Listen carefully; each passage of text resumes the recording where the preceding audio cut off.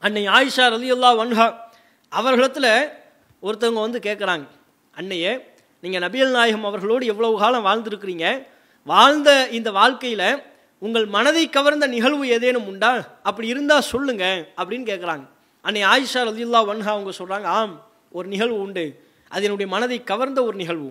ஒரு நாள் இரவு நபியல் நாயகம் என்னிடத்தில் வந்து ஆயிஷா எனக்கு நீ அனுமதி வழங்கு. நான் இன்று இரவு முழுவதும் வணக்க வழிபாட்டில் ஈடுபடப் போகிறேன் என்று சொன்னார்கள். அந்த இரவு அன்னை ஆயிஷாவுடைய வீட்டில் தங்குவதற்குண்டான இரவு முழு இரவும் வணக்க வழிபாட்டில் ஈடுபடுவதற்கு ஏற்ப நபியல் நாயிம் சல்லா அலிஸ்லாம் அவர்கள் அன்னை ஆயிஷா ரலியுல்லா வன்ஹா அவங்களிடத்தில் அனுமதி கேட்குறாங்க. அப்போ நான் ரசூல்லாவிடத்தில் சொன்ன அல்லாஹுவின் தூதரே உங்களுக்கு எது விருப்பமானதோ அதுதான் எனக்கும் விருப்பமானது. தாராளமாக நீங்கள் அல்லாஹவை வணங்கி வழிபடுங்கள் என்று சொன்னேன். நபியல் நாயகம் வணங்கி வழிபட ஆரம்பித்தார்கள். பின்னிரவு நேரம் சுபுகுலி நேரம் நெருங்குகிறது பிலால் பாங்கு சொல்வதற்கு வந்தார் அதுவரையிலும் நபியல் நாஹிம் அவர்கள் வணங்கி கொண்டிருந்தார்கள்.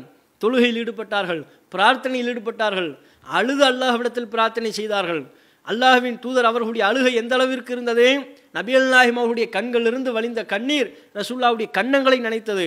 பிறகு தாடியை நனைத்தது. பிறகு தாடியிலிருந்து வழிந்தோடி நபியல் நாயகத்துடைய மடியில் விழுந்தது. அந்த அளவிற்கு அழுது அல்லாஹ்விடத்தில் துவா செய்தார்கள். பிலால் அவர்கள் வந்தார்கள். வந்து கேட்டாங்க அல்லாஹுவின் தூதரை ஏன் இவ்வளவு கஷ்டப்படுறீங்க? ஏன் இவ்வளவு சிரமப்படுறீங்க?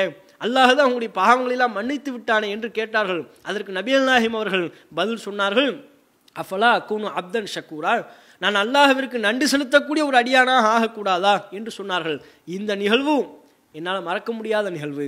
இது என்னுடைய மனதை மிகவும் கவர்ந்த நிகழ்வு என்று அன்னை ஆயிஷா ரதியுல்லா ஒன்ஹா அவங்க சொல்கிறாங்க இது இபுன் ஹிப்பானில் அறுநூற்றி இருபதாவது செய்தியாக இடம்பெற்றிருக்கிறது. யோசித்து பாருங்கள். நபியல் நாயகம் அவர்கள் முன்பின் பாவங்கள் மன்னிக்கப்பட்டவங்க தான். ஆனால் வணக்க வழிபாடு? சாமானிய முஸ்லீமை போன்று அதீத ஆர்வத்தோடு வணக்க வழிபாடில் ஈடுபடுறாங்கல்ல. ஈடுபட்டுட்டு சொல்லுகிறார்கள் நான் அல்லாஹுக்கு நன்றி செலுத்தக்கூடிய அடியான ஆகக்கூடாதா? இறைவனுக்கு நான் நன்றி செலுத்த கடமைப்பட்டிருக்கிறேன் அல்லவா?